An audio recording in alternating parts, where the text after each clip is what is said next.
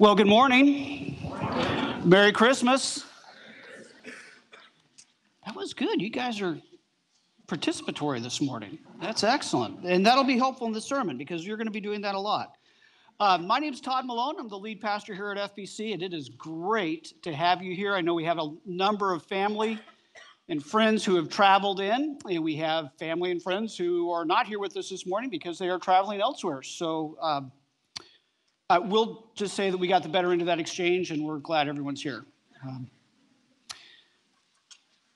I'm impressed as I look out at the crowd and see some of you who I know were not in town yesterday afternoon. Um, Advent is about waiting, and there is um,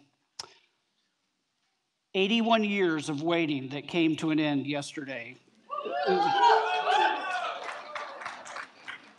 Longview, for those who are visiting from out of town and wondering what in the world we're talking about, Longview High School won the state football championship yesterday. And um,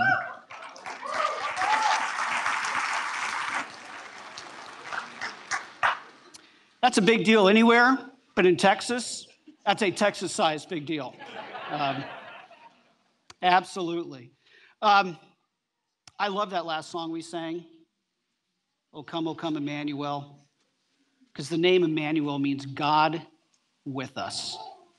And that's what Christmas really is all about is God with us and that's going to be what we're talking about this morning.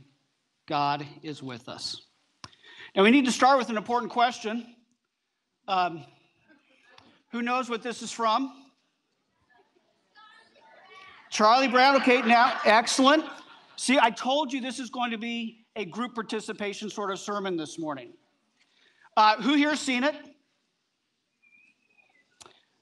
Uh, the rest of you can confess your sins later. Um, so if you've seen it, you know what happens, right? Charlie Brown is supposed to direct the kids' Christmas program. And as a part of that, at one point, he is sent off to go pick out a Christmas tree that will be used for the program. And the tree that he picks out is the one that's on the left. Let's just say that doesn't inspire confidence in a group of kids that already had absolutely no confidence in him whatsoever. But here's what's interesting. Although all the kids made fun of him, there is a moment in the special where the kids turn. And they actually decide they're going to love this tree and they're going to decorate it. And what it turns into is the tree on the right. Now, you may know this about our family because I share this freely and often, and probably every year about this time. But uh, for those of you who are visiting, fair warning my family reenacts this scene every year. Uh, we've actually been a little bit slack the last year or two, but but we have a long tradition in our family of reenacting this scene, and here's how it, how it works. All the kids, grandkids, everyone, we descend upon the Christmas tree lot and we scatter and we all look for the best Christmas tree we can find. Um, Douglas firs have the inside track because I grew up in Oregon and that's what we always had. So if someone finds a Douglas fir, that's usually going to be the winner. And once everyone has agreed upon what's the best tree, we as a family circle around it. Yes, we do this at Lowe's, we do this wherever. And we hum Hark the Herald Angels Sing, complete with throwing back our heads like they do in that picture. I want to give you this gift right now. If you are looking for the single best way to traumatize your teenagers, this is it. They loved it when they were little. And then they became teenagers and realized that everyone at Lowe's was staring at them. And now that they have their own kids, guess what they're doing? It's called payback. Have you ever noticed that the Christmas tree in this story mirrors Charlie Brown's life? It's really fascinating. Charlie Brown starts off as someone who just messes everything up. He can't succeed as the director. The one thing he's asked to do is to go get a Christmas tree, and the tree that he picks won't even hold up one single ornament. He messes everything up. But then at the end, we discover that all he needs is a little love to be transformed into something beautiful. See, I think there's a reason that this special has become a classic. And I think it's because we connect with it in a very special way. We can relate to Charlie Brown wanting to be loved. We know what it feels like to mess everything up and to feel like we can't do anything right and to feel like the entire world is laughing at us. We want to go from being the scrawny tree to something that is lush and beautiful and loved. And the question is how? The question is how is that transformation possible? And Christmas answers that question. We've been in the short series on Advent, which is the first four weeks leading up to Christmas. We started in the Old Testament. We looked at the promise that's in the Old Testament that God would bless the entire world. And as the Old Testament progressed, we see more and more what that blessing is going to look like. And by the time you get to the prophets, you see that there is a king who is going to come, and under the leadership and rule of that king, there is going to be perfect protection, perfect provision. There is going to be peace within all of creation, with one another, with God, and within ourselves. We saw that people in the Bible lived waiting for that day to come. And the beginning of the fulfillment of all of those promises was the day that Jesus was born, because Jesus is that king. Christmas is a celebration. It's a celebration of the fulfillment of those promises that they began to unroll, that they began to develop with the birth of Jesus. And now we wait for those promises to, to be complete. We live, as we saw last week, in an in between time. We live in between Jesus' first coming, where the promises begin to unfurl, and we live waiting for his return, when all of those promises will be complete. And yet, even as we wait, we are invited to participate in the blessings of those promises. The title of this series has been The Meaning is in the Waiting. And the reason we titled it that way is because our culture says waiting is a waste of time. But as we wait, we discover that God is at work to transform us. The people who lived before Jesus waited for his birth, and we learn a lot from them about how we are to live as we wait for Jesus to return. We live for the day when our waiting will be over, when we will experience the perfect provision and protection and peace that every one of us longs for. There are important truths in today's passages that the Coleman family read that are really helpful for us as we wait. We need to understand the nature of the gift that we were given that first Christmas. And when we really grasp what God was doing that first Christmas, it will completely change us forever. And the first truth that we need to grasp is that Christmas is all about a gift from God. Do you ever catch yourself thinking of God like Santa Claus? Right? God's put everyone on one of two lists. You're either on the naughty list or on the nice list. And if you make the nice list, then God's going to give you nice things and do nice things for you. But if you're on the naughty list, watch out. You're in trouble with God. And you see, if that's your view of God, then it becomes incredibly important for you to do everything that you can to get on the nice list and stay on the nice list. And our picture of God under that scenario is something like God sitting in heaven, keeping score, trying to see who is good enough for him. It's a lot like me trying to follow the Longview football game yesterday on Twitter. I did nothing to affect the outcome of the game. All I could do was wait for scores to be updated.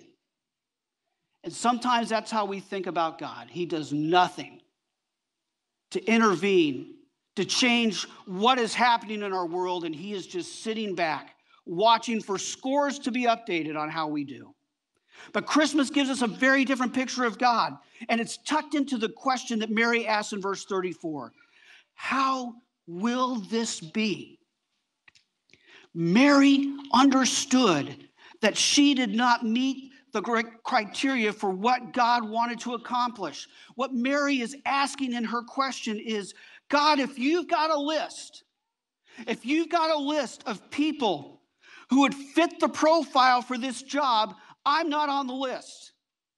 She doesn't meet the most basic requirement. She doesn't have a husband.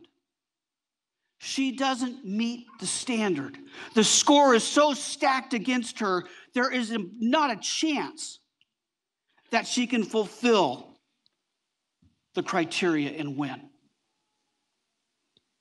But God's answer back is basically Mary, this isn't about you.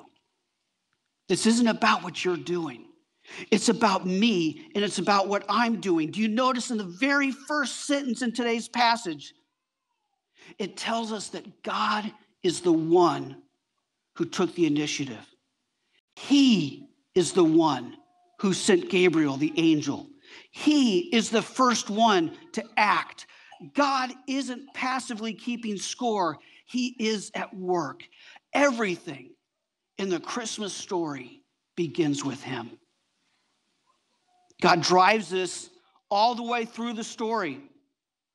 Jesus will be born. Why? Because God is going to work. He will form the baby Jesus within Mary so that Jesus will be called the Son of God. And isn't it interesting that even here the word holy is used for him? The word holy really just means set apart, different from the common, different from the norm. Jesus is radically different, radically set apart from the very beginning. Why? Because of the work that God did to bring Jesus into the world. See, if we think the Christmas story actually begins with Mary, we miss the point. The Christmas story really has nothing to do with what Mary accomplishes or anyone else accomplishes. It's not about what list we're on. It's not about the fact that there are things that we're supposed to accomplish. It's about the fact that nothing is impossible with God. The story of Christmas is the story of what God does precisely because we couldn't do this on our own. You see, if we think of God like Santa Claus, we will think that the Christmas story, like every story we tell about God, really begins with us.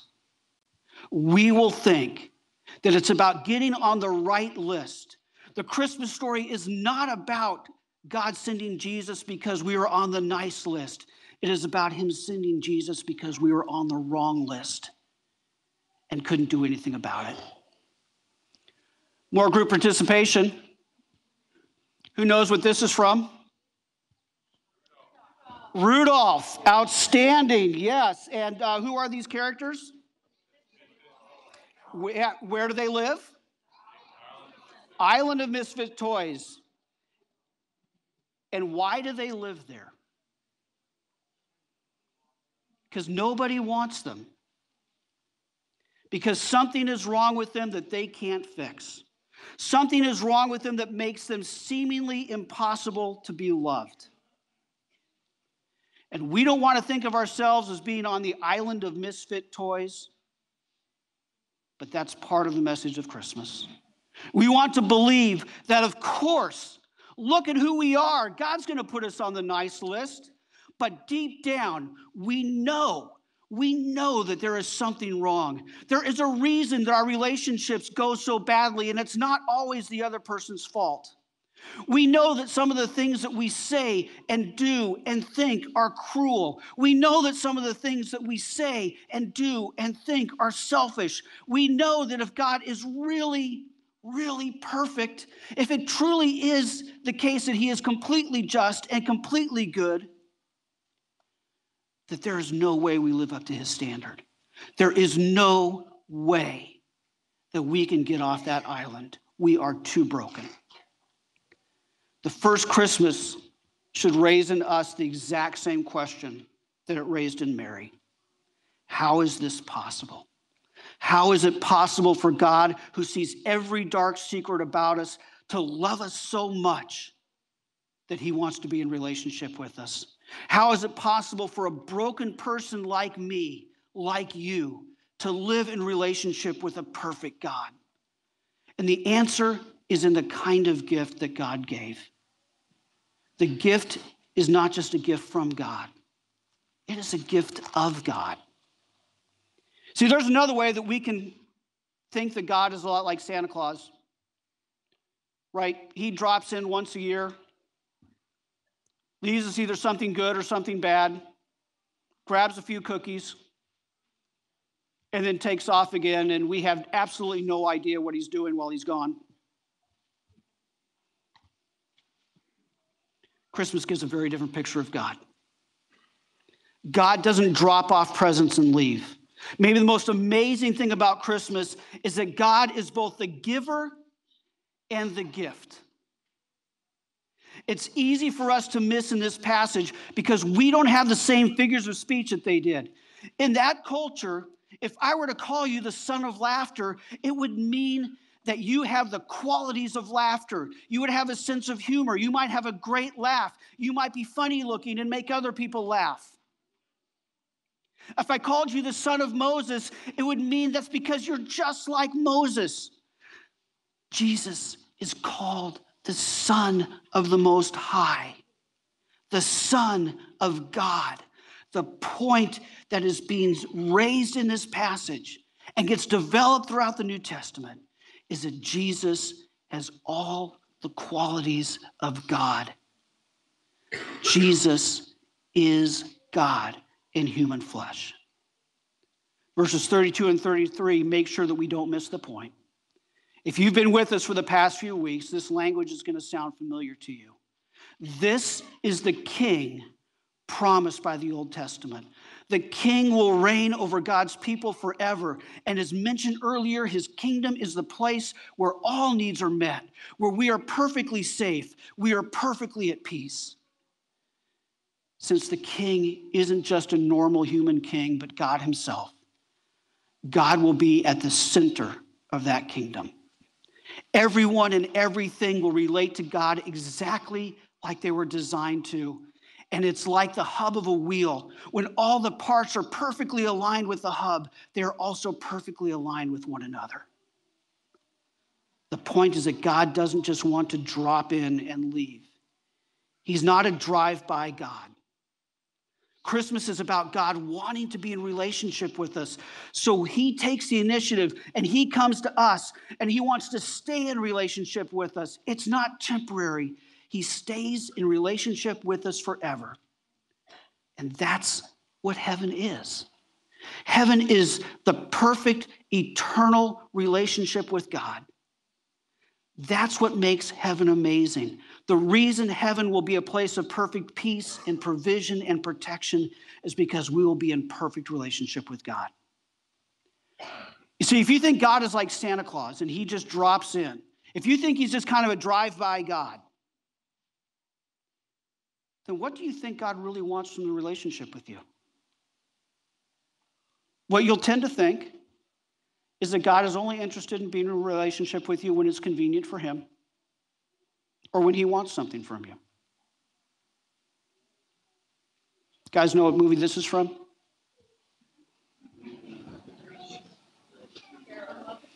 Muppet Christmas Carol. Who are the two characters? Scrooge and. See, now that's where it gets tricky. Um, it's Scrooge and as played by Kermit, as played by, I think in this movie it was Frank Oz. Um, uh, yeah, it's Bob Cratchit. This guy. Bob Cratchit or Kermit. Who's the mean guy? Scrooge or Michael Caine. Have you ever thought about what makes Scrooge mean and what makes Bob Cratchit nice? What makes Scrooge mean is he doesn't care about people. He's mean because he uses people to get what he wants. He only cares about them for what they will do for them, for him. But Bob Cratchit's just the opposite. He thinks people should be loved just because they are people. He even thinks that Scrooge should be loved and spoken well of. And a lot of us think God is a lot like Scrooge. That he's a sort of drive by God that only shows up when he wants something from us. Do you think that God just wants a relationship of convenience? That he really just cares mostly about what he gets out of it?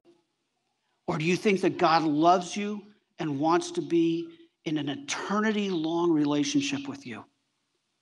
The baby born in the manger was God in flesh, God who loves us and wants to be with us. He came to be with us that we might live with him. The gift that first Christmas was more than God sending a great man. The gift that first Christmas was God coming himself to pursue a relationship with us. Christmas is a gift from God, it is a gift of God, and like all gifts, it requires a response. It's a gift for us to receive. That was true at the birth of Jesus. Mary gets this announcement that she will have a son, despite the fact that she's unmarried, and she has to respond to that. Think about what that might have cost her. As far as she knew at that point, her fiance Joseph was just going to terminate the relationship. She would have been subject to a type of public humiliation in that culture that we can't even relate to. In fact, the Jewish laws of her day allowed for the death sentence for a case like this. Girls were given in marriage, usually at the age of 12 or 13, precisely to avoid this type of scandal. Mary has to respond to the future that's being presented to her. And she had every reason to turn down this gift. But she says to the angel, I am the servant of the Lord. Let it be to me according to your word. It's one of the most remarkable statements in the Bible.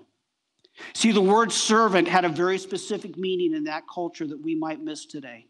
Mary was basically saying that she was voluntarily putting herself under the authority of the Lord so the Lord could do with her life whatever he wanted. She tells the Lord to take her life, do what he wants, despite what this is going to cost her. That is how she received the gift that the angel announced. And it's a model for how we receive the gift that God offers us. We receive the gift by trusting Jesus with our lives, just like Mary did. And we are all trusting in something. We are all trusting in something to make life work. We are all trusting in something to feel valuable, to feel lovable, to feel less like the Charlie Brown scrawny tree, and to feel more like the full thriving tree. Isn't it funny how much we make Christmas a test of our acceptance and how much we're loved? We compare the gifts that we get with the gifts that others receive. We spend a lot of time worrying about whether someone that we give the gift to will like it because we're worried that that might be an indication of whether they like us more or less we live so much of life measuring our approval, our acceptance, and trying to earn more. And in the same way, we are trusting something to gain God's approval. We are trusting in something to take a life that feels like the pitiful Charlie Brown tree and turn it into a lush, thriving tree. We are trusting in something to put us on God's nice list. Our natural inclination is to trust ourselves. Our natural inclination is to trust our ability to be a good person, to do good things, to be well liked. We tend to think that if we can tip the scales far enough towards doing good things, then God will put us on the nice list and accept us. But here's where we go back to Mary's first question How is this possible? How can a broken person be good enough for a perfect God? You can't. It's impossible. Well, it's impossible for us. But nothing will be impossible for God. And that is why God gave himself as a gift. Only he could be perfect enough. See, he was born as a human because only a human could pay the price that humans owed for their sin. But a human could never, ever be good enough for a perfect God. And so Jesus came both fully human and fully God, because only then could he pay the price that we had to pay. Receiving the gift happens by switching what we trust. It's really that simple. We acknowledge that we are so broken that we cannot fix ourselves. We can't be perfect enough for a perfect God. Receiving the gift of Christmas starts with accepting that reality. But then we go to God and say, I want forgiveness for being this way.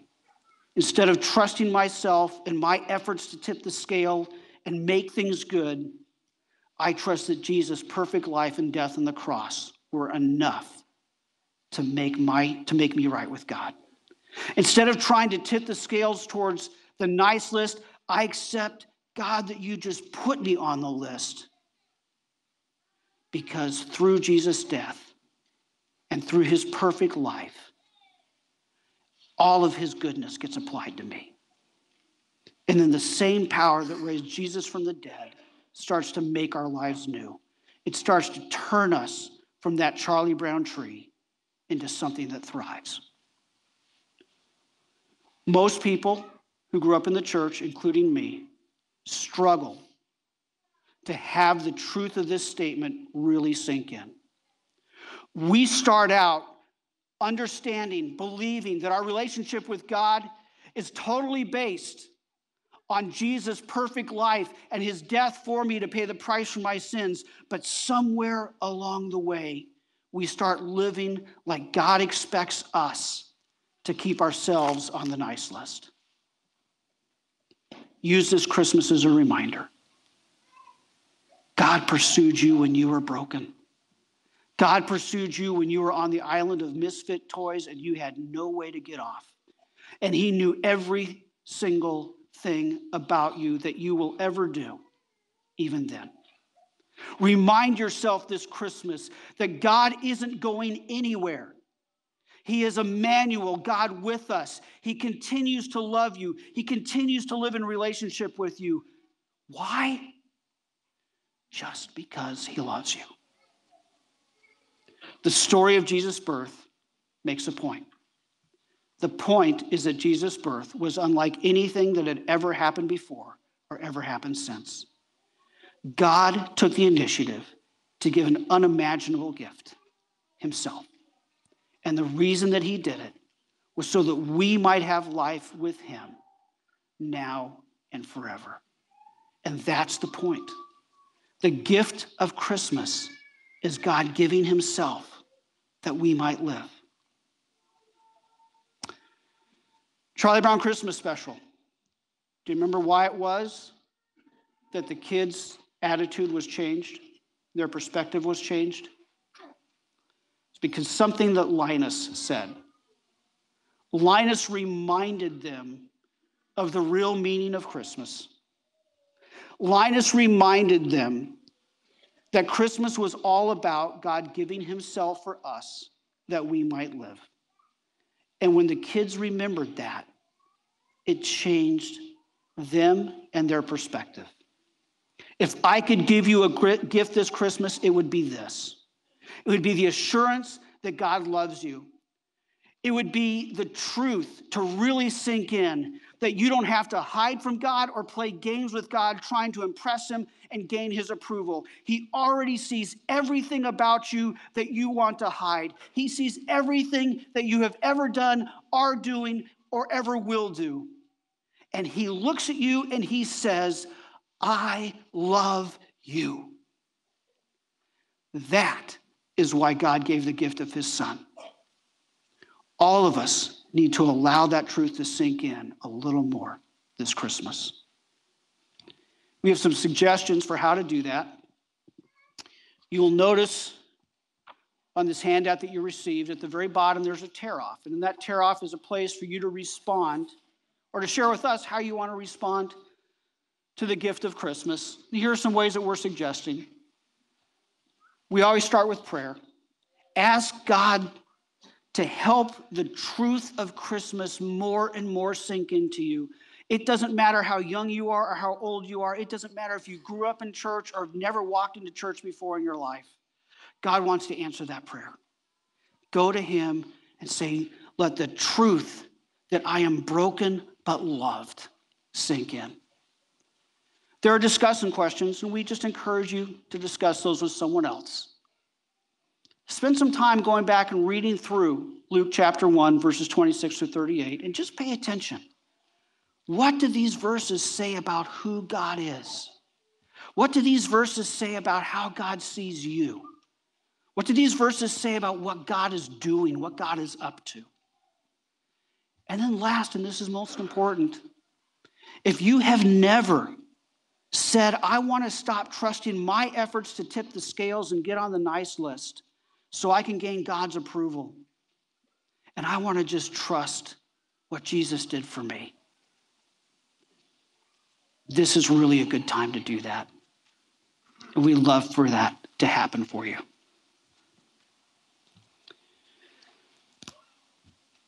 How do you go from being the scrawny tree to being the thriving tree?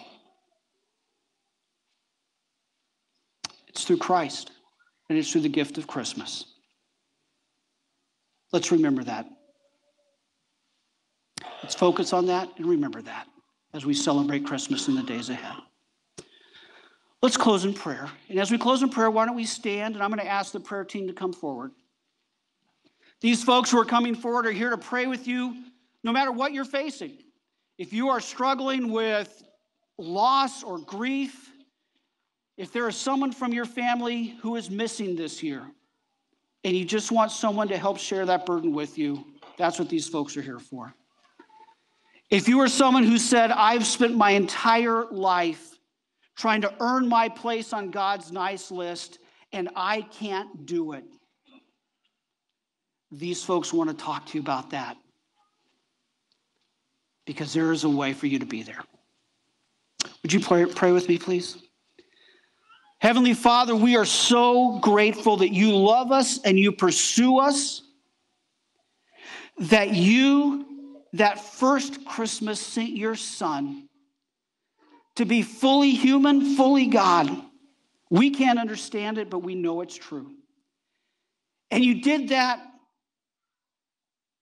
because you loved us, because you are pursuing us, because you want to be in relationship with us because you're not going anywhere. And Lord, we thank you for that. But we pray, Lord, that this Christmas would be a season that we are reminded that we are both broken and loved. And we thank you for that. This in Jesus' name. Amen. So let me leave you with this thought God is both the giver and the gift. That is who our God is. So when we leave here, we leave here embracing the life that God has for us this Christmas. You are dismissed.